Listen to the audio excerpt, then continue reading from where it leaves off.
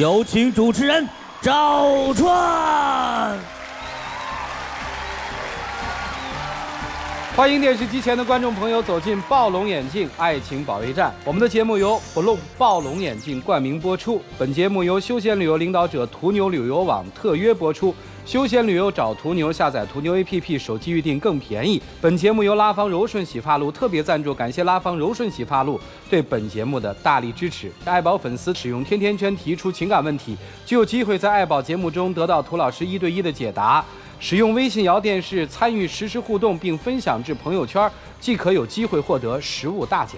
今天我们请到的是心理学方面的专家于继静于老师，欢迎于老师的到来。影视演员王丽云王老师，欢迎王老师的到来。华谊嘉信的副总裁曲伟曲老师，欢迎曲老师的到来。爱情导师涂磊涂老师，欢迎涂老师的到来。今天第一对嘉宾，他们在爱情道路上碰到了怎样的坎坷？请看。我们在一起很多年了，彼此也经历过很多事，走到今天真的很不容易。随着时间的推移，我们两人都发生了微妙的变化。可能他越来越觉得我大男子主义，可是我觉得我也越来越不认识他了。各自的改变，让我们觉得对方都成了最熟悉的陌生人。如果可以，我希望能一切都回到原点。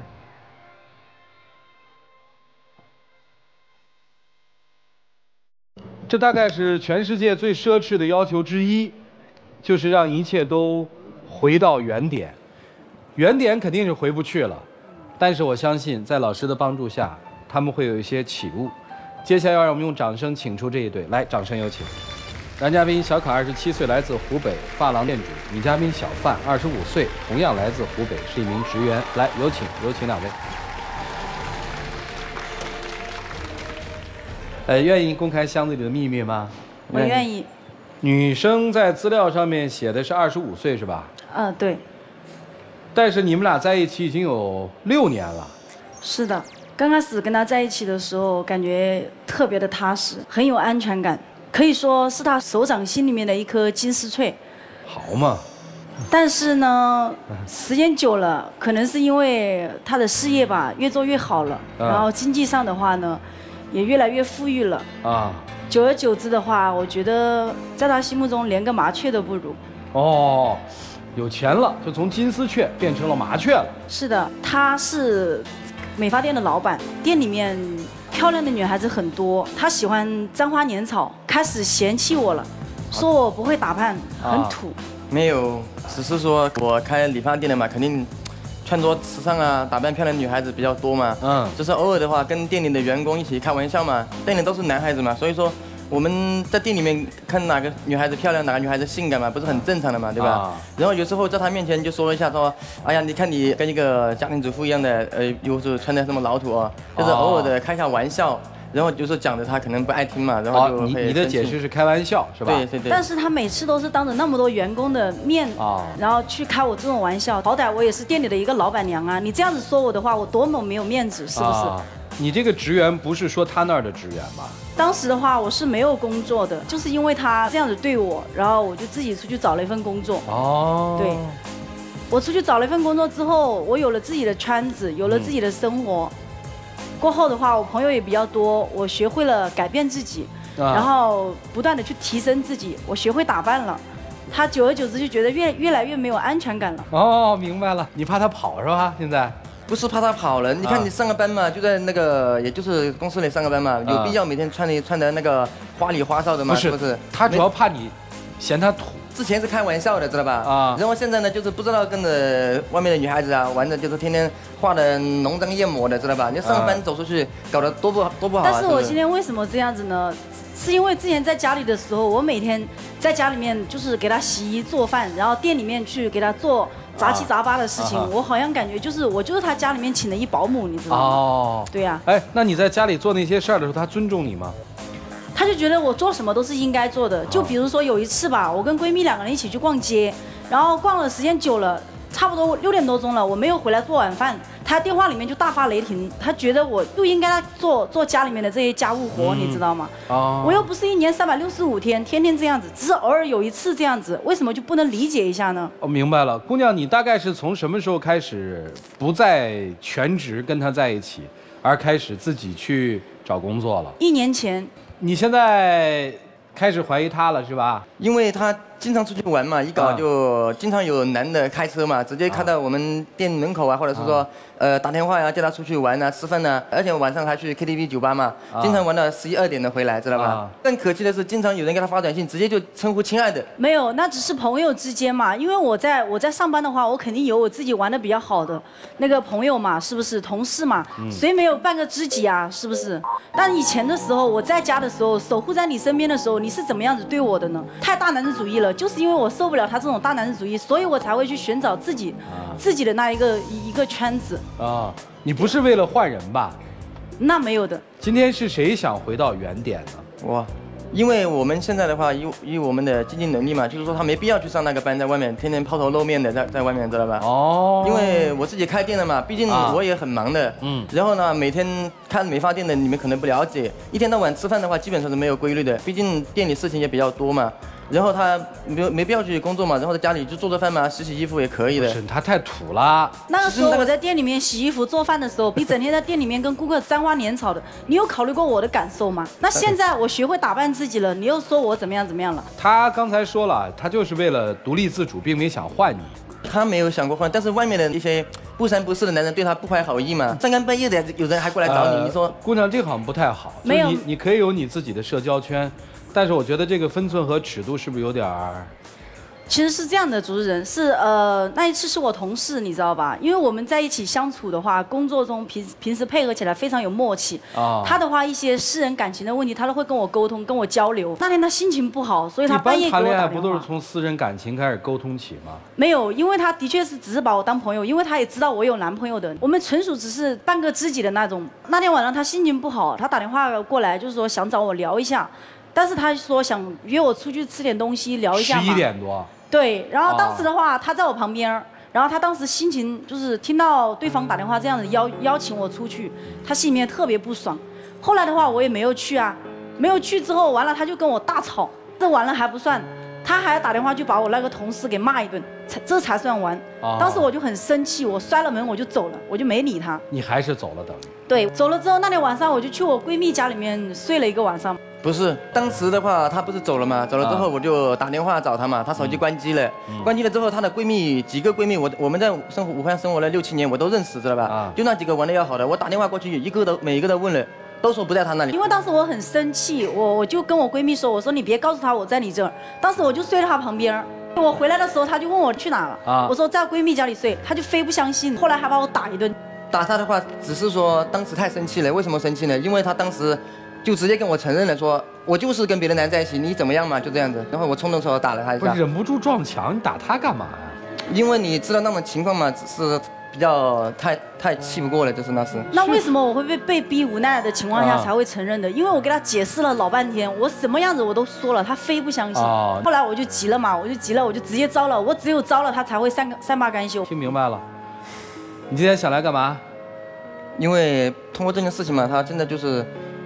两个人就是感觉到很多事情的话，跟你之前不一样的，发生这种事情之后，所以说想通过这个平台嘛，能不能把我们这个这么多年的感情，看能不能把它挽回回来。啊，我是不是可以这么理解？女生现在是想走是吧？想离开。我觉得我们在一起这么多年了哈，我都我对他付出了我的所有的青春，我十九岁就跟了他啊，我觉得导致他今天能够这样子对我，我觉得我真的很寒心，我很痛心。一个男人动手打女人，有了第一次，他绝对会有第二次。嗯。更何况我根本就没有做什么，当时也那种情况也是，一一时冲动。好，我再核实两个事实哈，在他在家里做全职女朋友的时候，嗯，你是不是沾花惹草？没有沾花惹草，我只是在店里面经常和客人开玩笑，但是我私底下从来没有跟女顾客去私底下接触过。这个你承认吗？每次都是我去店里面的时候，他就说跟顾客的话就不讲话了。如果我不在店里面。然后朋友反馈出来就说，他就会跟顾客怎么样的疯啊、打呀、闹啊什么的。啊，第二个问题，确实现在外面没有一个更好的男人。从来没有这样的想法。自从他对我动手了之后，我就很很寒心了，我的心已经死了。好，这道理应该怎么办呢？来，四位老师一起进入丘比特问卷。女方在做全职的时候照顾你，得不到尊重，你嫌她土；当女方这个整个状态发生改变的时候，你又怕她飞了。这个女人到底爱不爱你呢？十九岁开始到现在，六七年的时间了，她为什么这样做呢？如果是斗气的话，说明心里还有你；但是如果斗气斗气斗到一定程度，你要失手打了她的话，就走向另外一个反端了。为什么呢？我通过改变努力之后呢，我能获得你的尊重，但是发现你居然还是用打这样一个粗暴的方式，和原来这个嫌弃和语言上的不尊重有什么区别吗？甚至可能更严重。最后发现还是没有逃脱你的魔掌，那他的努力又有何用呢？那他真的就寒心了。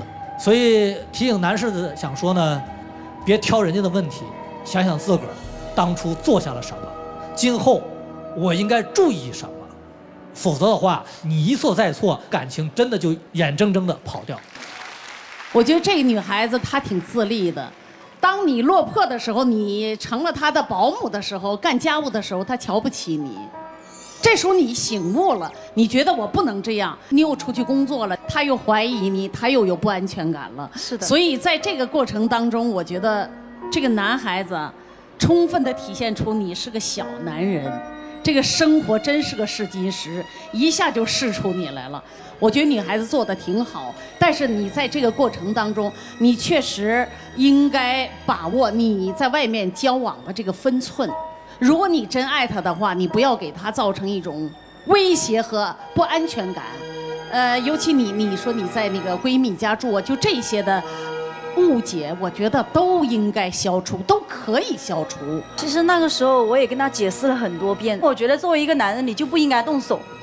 对，你说这个是本质的东西。呃，但是他今天已经动手了，那么你就看你怎么看待这个问题了。我觉得真的，这个男孩子没有没有珍惜你，从外形从内在你都配不上这个女孩这女孩在某种程度上做的比你好。还有一点，我刚才特别想，你十九岁你就跟他在一起，什么都不懂，没有生活经验，没有生活阅历，你就一头扎在这儿了，然后那个后面就发生了这一系列的事情，我觉得这是一个教训。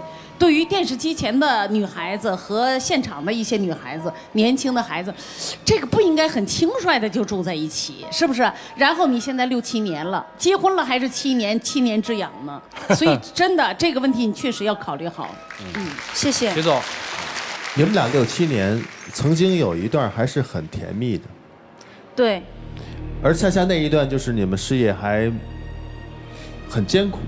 是的。一起努力。对对对，我们俩是白手起家。他主要是开店，那你做什么呢？之前的话，我是学计算机的，然后就因为他开店了之后，然后我就放弃了我计算机的一个职业，然后跟随了他，然后帮他一起打理店子。所以可以这么理解吗？你还真不是那种说，哎，他是这个店的店主，你就直接过来只做老板娘。其实这个店里面有你的付出，对吗？我们两人从刚开始去找店面，然后到店开业，一直都是一起经营。那投资呢？投资的话，也是我们自己两个人。两个人的钱。对。两个人的努力。对。现在反而，这小子觉得是自己的事儿。你知道你败在哪儿吗？你就败在忘乎所以。你忘了对面这个女孩是怎么陪你一起辛苦的努力付出了。事业小有所成之后，你就觉得她就是一个金丝雀。甚至于金丝雀不如成麻雀了，这就是你忘本了。而恰恰你们的这个裂缝就从那会儿开始。女孩很聪明，她知知道自我保护，出去工作，自己有自己的社交圈子，自己会从打扮到气质都有提升了。你现在怎么着？慌了？你觉得自己哟，我这事业所成，居然我女朋友要跑了，要飞了，所以你急了，所以你出手了。女孩，坚持你的选择，做独立的人。谢谢。如果他出手打你，先分开一段，然后呢，再看他是否真是那个还能找到之前你们一起打拼的那个人，那那个人的影子。如果有，还可能开始；如果没有，就算了。谢谢。事情的严重度比你们所说的还要更严重，因为今天之所以到这个舞台上来。这男生不是为了来挽回爱情的，他是来找回一种安全感。也就是说，如果你今天不会这么会打扮，你依然打扮成一副老土的样子，他不会来。这是第一点，这不是来寻求爱情，是来寻求安全感，找舆论基础，说你在外面瞎搞。第二，在时间的流逝面前，男人总是比女人经得住衰老，你总有一天还要老，那个时候你的命运会不会回归到之前的状态？这是我最担心的。第三，就是我接下来要说的，嫉妒是人的本能，但是宽容是人要学的本领。其实我们一般来说，爱情都是排他性的。我们所说的爱情的排他性，所指的是我所爱的人只有你，而不是别人，这叫排他性。但事实上，这种排他性在每个人的心目当中不是这样的。每个人的心目当中的排他性排的是什么呢？是排除同性的共同竞争。而并不排除异性对自己的诱惑，所以会让人形成一种只许州官放火，不许百姓点灯的那种看法。专一的爱情是什么？是为了照顾对方的嫉妒心理所做出的让步，这种让步叫做宽容。但是有些人没有学会，比如说在一开始的时候，他跟在店里面跟别的女生说话，你马上产生了嫉妒。如果这个时候他为了照顾你的嫉妒，想想当初你和他共同创业的功劳苦劳，他应该做出宽容的底线，他没有，他依然是坚持自己的行为。倒是相反，你在嫉妒之下，你没有变得盲目和消极，你采取了一种自我导使、自我向上的方式，打扮自己，充分的扩展自己的社交圈。但是当后来你变得优秀之后，他产生了嫉妒，在这个情况之下。他没有像你一样去让自己变得更好，他采用了一种打的方式。所以说，王老师那点说的没错。当人共同产生嫉妒的同时，有些人选择了释怀，选择了自我积极的向上奋斗，但有些人。忍不住用了一种龌龊的方式，要毁掉你的积极，让你变得不积极，再回到原来老土的方式。他心里甚至在想，宁愿像你现在这样打扮的这么漂亮，天天跟别的朋友在一起，我不如你变成原来那丑的样子。有些人真的是这样想的，他一方面希望自己的老婆漂亮，但是自己老婆一旦漂亮，他自己感觉到没有安全感的时候，他宁愿你丑，也不要你漂亮。这是一种极度的自私。所以说，男生，其实坦率的来说，如果除掉爱情的真心和付出，光从外形上来说，你显然是配不上这位女生的。摆明了说，一开始你是占了便宜的，但是呢，到了后来，你没有珍惜。当对方重新拾起了对于自己的信心的时候，你产生了嫉妒，你的这种嫉妒，久而久之形成了一种破坏，甚至我怀疑你今天到这儿来。到底是不是寻求爱情，还是寻求一种所谓的舆论力量，让他能够回归家庭？又或者内心有腹黑的想法，宁愿他变回以前丑的样子，也不需要现在的这种不安全感。你自己内心非常清楚。所以我说，其实真正的爱情不是互相束缚对方，那是有一种自信的体现。真正好的爱情往往是不束缚对方，但是到头来又无法离开对方，这才叫真正的爱情。就是怎么打、怎么闹、怎么吵，到后来还是分不开，这才叫真正的爱情。但是如果有一方完全不顾对方的考虑，宁愿把对方的一些积极的东西损失掉，也要把他死死地拽在自己身边，而拽在自己身边又不那么去珍惜的人，就完全把你当成了私有财产。这就是极度的可怕。总而言之，最危险的一点就是我刚才说的，你还会老的，你不可能保持现在这样的青春靓丽。那么在那个时候，你情何以堪？想一想。谢谢。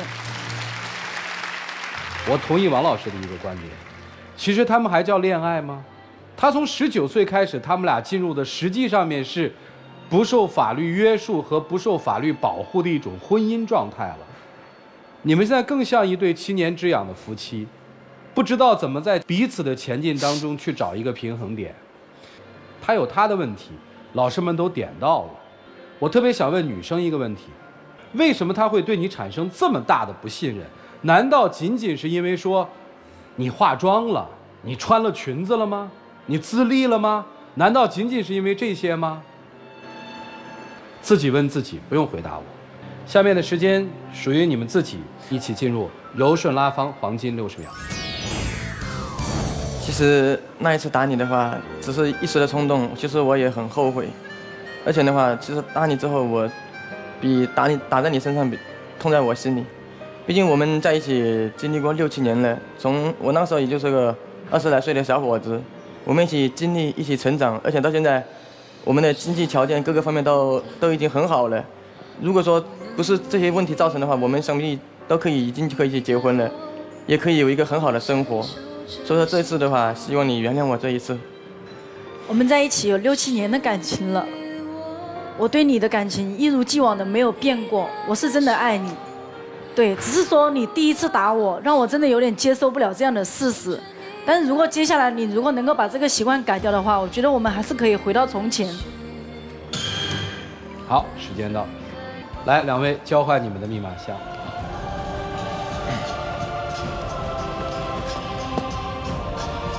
谢谢你们，请回。来，请关门。常说这个七年之痒啊，这恋爱谈到第七年的时候，事儿也出了不少。我们看看他们自己的选择究竟是怎样的。五、四、三、二、三、二、一，请开门。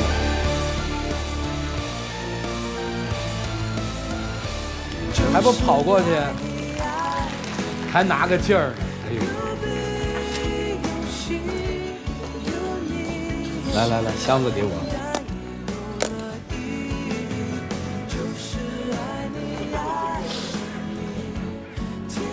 嘿嘿嘿，花言巧语还是有一套。此纸可兑换你打我，我不抵抗十次。好好珍惜彼此就行。拿着吧。感谢 Blom 暴龙眼镜为牵手成功的嘉宾提供的牵手大奖，成功复合的情侣还将获得由休闲旅游领导者途牛旅游网提供的价值五百到三千元不等的旅游代金券。你们自己来喊开始和停，来，你喊吧。开始。停。五百哈，六等奖。接下来我们打开我们的这个幸福之门，有请我们的这个小花童。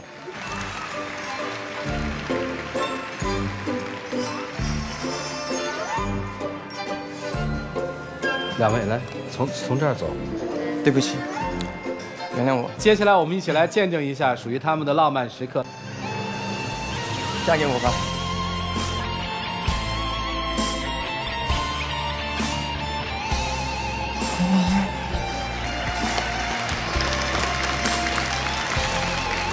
啊，请亮灯啊！来来来，谢谢两位哈。啊，谢谢。来，请回，请回，祝你们幸福。啊，谢谢。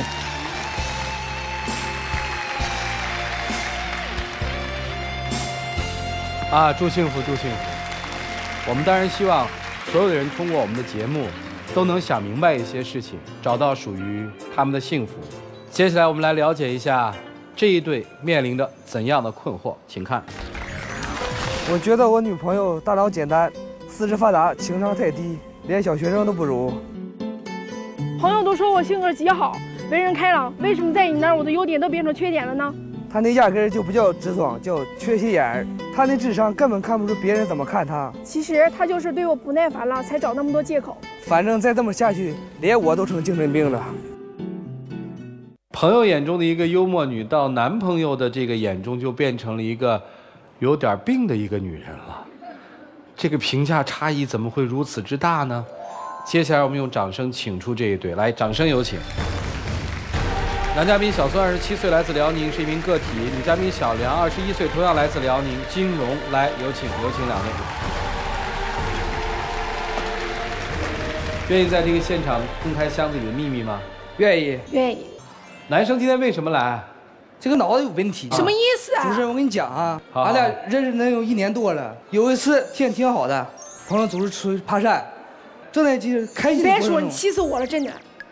他指着我一个。哥们的脸上呀，你鼻上有有一坨大鼻屎，我刚准备给他拿手指，然后你就那你就那么样说我，当时我脸都红了。你说能能让我朋友下来台吗？能不能小一点声音？小不了。你话说的有问题，你知道吗？什么叫有问题？有一会儿去唱歌吧，你都不知道。嗯。他哥们领了一个女朋友，那女的不说话干嘛？然后我就上去寻思跟他说，他要不太冷场了，穿个衣服大衣上面都起球了，一嘎达一嘎达的。啊。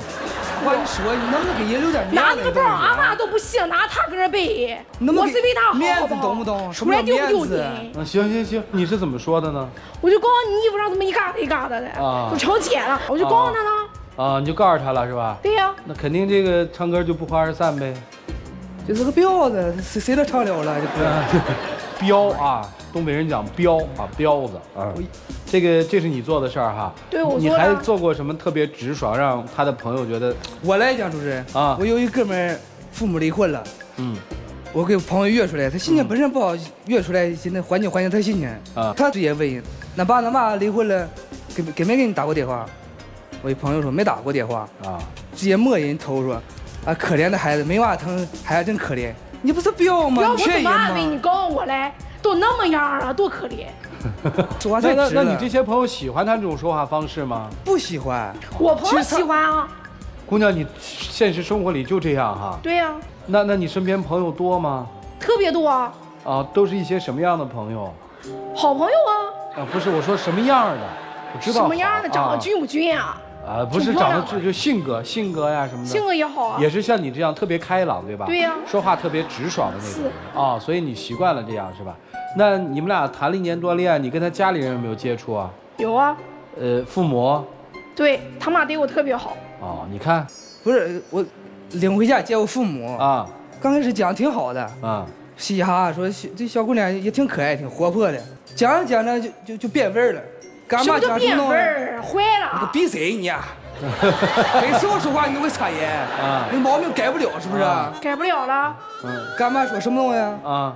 说晚上我给打洗脚水给洗给洗脚。我还没讲你给我洗上给我做饭呢。父母的心情能不能理解？他跟你母亲说，你给他打洗脚水。对。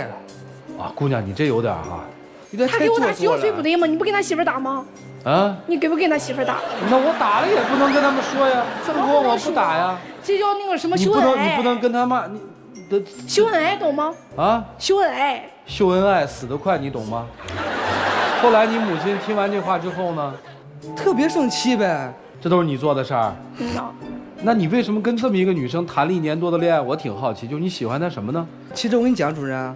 她这个性呢是是挺好，她没有坏心眼就是你觉得她这人很善良，但是她的处事方式让你有点受不了。对对对。你今天希望我们帮你，帮她调整一下处事方式，是这意思吧？是的。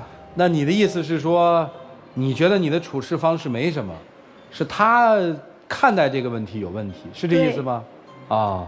你朋友还挺喜欢你的是吧？是，所以你我认为我俩感情之间的事情不需要别人的参与，只要我俩幸福就可以了。那这话还反正跟我没什么事儿了，他倒是一口把你们四个都噎了。他说他们俩感情之间的事儿不希望别人参与。没有提意见其实也是可以的。哦，也还可以啊。错在哪里我也可以改。哦，真的。那就是别人还是能参与意见的，但是不能掺和啊。大脑有问题，这样是。哎，你不能说他这个大脑有问题，没问题，姑娘。都回家啊。啊。呃，你们俩相爱吗？你告诉我。爱，爱吗？还是挺爱的。哦，那就是一对欢喜冤家呗。针对欢喜冤家，你们该怎么办呢？一起进入丘比特问卷。都是东北人，我也东北人。我曾经也经常说，我说话可直了。但是说话直这个事儿呢，也得分成几种原因。第一，我说话直，让对方能够接受。这句话你就是为我好的，我会感激之心。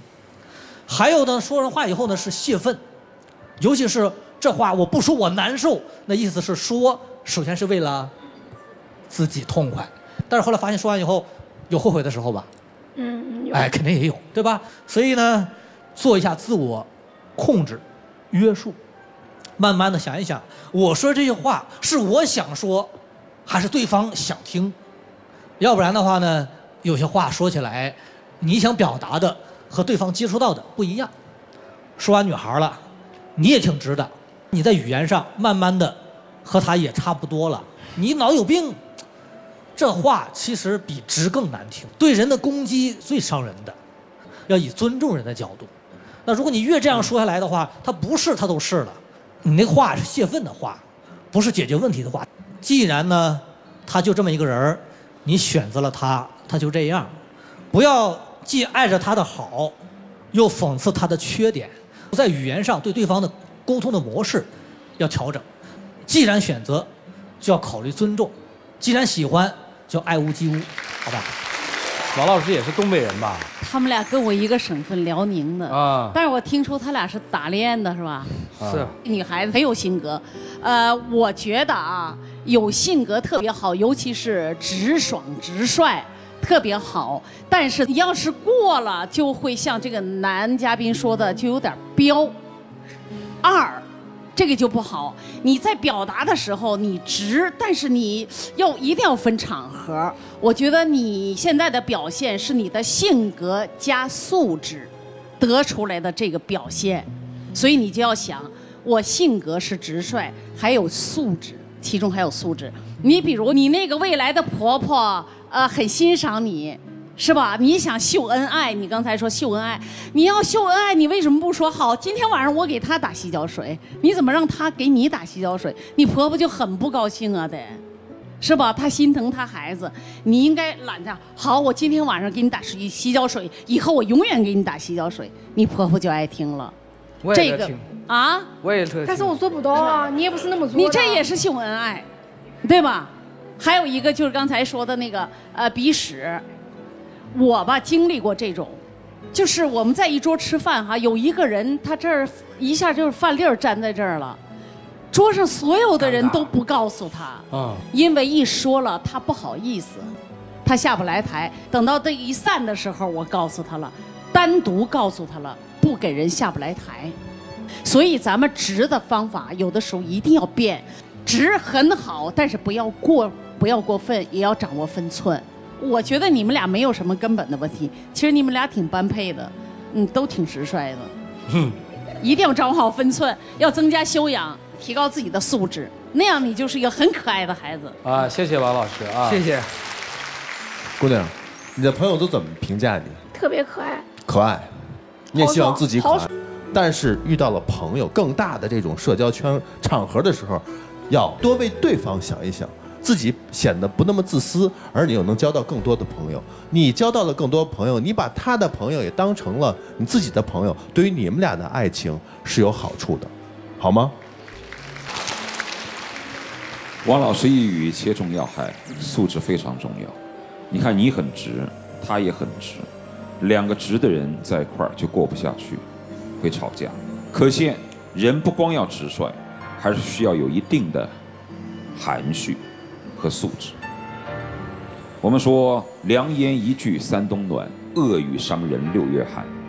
但是什么是良言，什么是恶语，真的有的时候不是这句话当中的内容可以判断出来，而要分不同的环境、不同的语速以及对方不同的情况。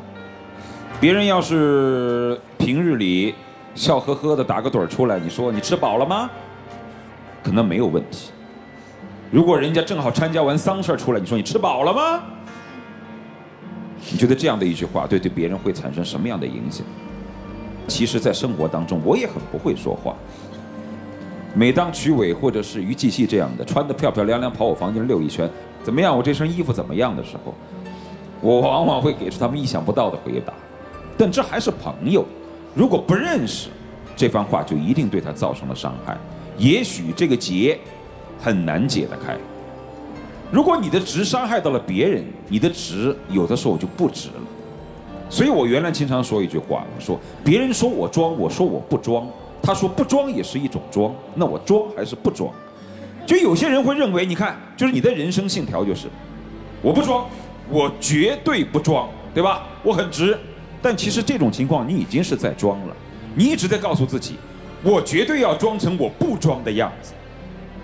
这已经是在装了，所以说，其实东方人说话喜欢留白，当把话说的特别直的时候，倒很容易让人感觉你的话没有完全说出来，别人会认为你的潜台词到底是什么？你比如说，我叫你一声美女。有些人会认为我的潜台词是，哎，你可能真的很美。有些人认为你在嘲笑我，看看自己今天穿怎么样。还有一个说，你是不是说我老啊？就很多人会多想，所以有的时候说话真的要讲究艺术，不是说你说的直就能够表达出你直接的意思。有的时候多动动脑子，先分清楚场合，注意对方的情绪，然后该说什么说什么。但至于在心爱的人面前，和自己特别好的朋友和家人面前，我认为还是可以。畅所欲言的，不是所有的人都能够接受得了你的直接，因为他们跟你可能关系不是特别好，所以你的直，你的那种亲近，千万不要做亲者痛而仇者快的事儿。不同的人说不同的话，不是说咱们要扮演自己，见人说人话，见鬼说鬼话，要注意分寸，姑娘。一会儿我希望能够听到你们发自内心的那种。表白声音的时候，不是这样的。想想怎么去表达。接下来，让我们一起进入柔顺拉芳黄金六十秒。宝贝儿，其实你心是挺好的，我知道。但是，以后希望你能改一改这个毛病。我希望你以后说话不要那么太直，你知道吗？其实我脾气也不好，我知道我脾气不好，咱俩互相都应该改一改，理解理解。不管接下来会发生什么事情，会会怎样，我都希望你过得幸福快乐。其实我很爱你，我很爱你的家，我的家，我们自己的家。其实我不愿意说我爱你或者怎么样的话，有时候就用这种方式去表达，可能我的方式不对，你也没有感受到。其实我都希望我们能够幸福。回到我们最初的时候，许下的诺言的时候，但是我不知道能不能走下去。我，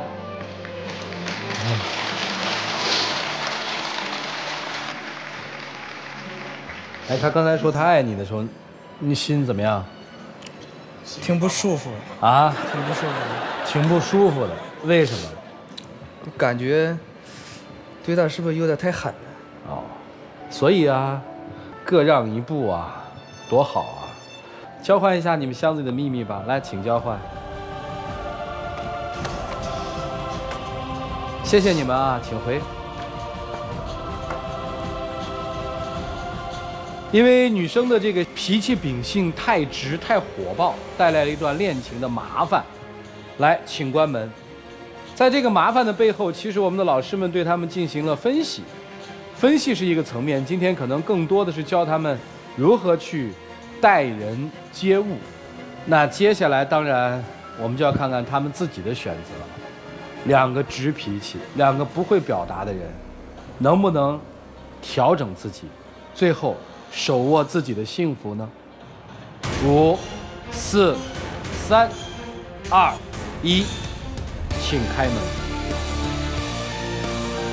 唉。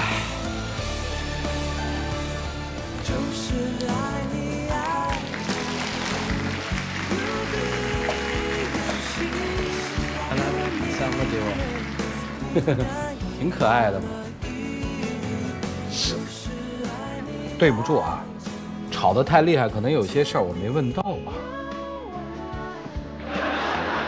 哎，我就特好奇这，我就。要不然后面那句可以省略。不不不，我就特好奇、特八卦这件事儿，你给我八卦一下呗。好，好吧。那我先读了，你再说好不好？啊，女生的箱子里是这么说的：说每次无理取闹。都是想引起你的注意和关心，害怕失去你，我变成了爱哭鬼。那次，我跟疑似第三者的女人说，如果她能比我还爱你，我愿意离开。哦，还还还还有这么个女的？哪有啊？人家在上面写的是疑似第三者的女的，怀疑，啊，就是怀疑，确实没有哈，没有。好，那就那就行了，那就没问到也就对了。再问到事情就更乱了。女生希望通过这样一个行为来表达自己对男生是多么的爱，是吧？你要这么说多好啊！但是我不会这么跟他说。为什么？没有为什么。记住，最亲的人也不能那样去伤害，否则会伤害到你们自己。感谢 Bloom 暴龙眼镜为牵手成功的嘉宾提供的牵手大奖，成功复合的情侣将会获得由休闲旅游领导者途牛旅游网提供的价值五百到三千元不等的旅游代金券。接下来你们自己来喊开始和停，来吧。开始。停。停。恭喜啊，两千元！有请我们的小花童来，有请。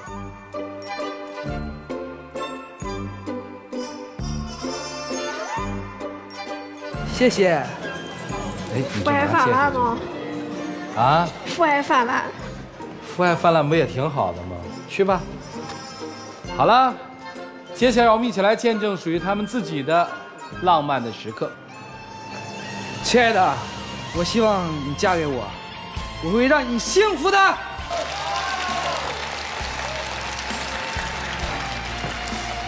哎，你性格那么直，你咋不回一句的呢？我本来我要回的，然后他手太快了，给我带上了。啊！你再回一句噻，回家吧，你能回？来来，带着礼物，带着礼物，谢谢。甜蜜吗？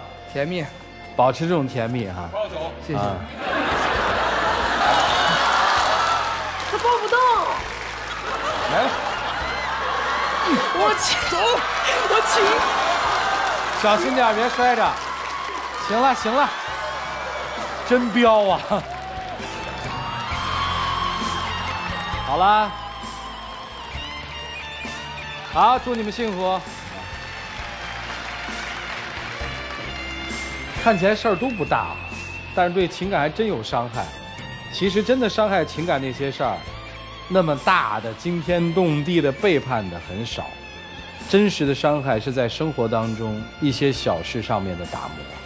有的时候，当你不注意的时候，这些小事就把你们所有的情感打磨光滑了，让两个曾经相爱的人变得渐行渐远。接下来，我们进入到老图有话说。甜甜圈的用户最狠不过人心提问，说不顾家里反对，我们就私奔了。年底回家，本想和他分手，但因为和家里赌气，就和他订婚了。还有了小孩儿，未婚夫工作和生活能力有限，让我对未来很迷茫。我不知道，因为家庭的反对就私奔，可以理解成是一种冲动；因为要跟家里人闹气，就跟对方订婚，可以理解成是一种不慎重。后来在没结婚之前，又跟私奔的对象有了孩子，可以说是不洁身自好。最后呢，现在又因为对方的。经济能力有限，你又感觉到迷茫，你还很世俗，所以你该怎么办？你最没有听过家庭的话，这个时候真应该问问爸爸妈妈。感谢大家收看这一期的暴龙眼镜爱情保卫战，我们的节目由 Bloom 暴龙眼镜冠名播出，本栏目由休闲旅游领导者途牛旅游网特约播出，休闲旅游找途牛，下载途牛 APP，手机预订更便宜。本节目由拉芳柔顺洗发露特别赞助。在这里感谢拉芳柔顺洗发露对本节目的大力支持，下期节目再见，谢谢大家。传递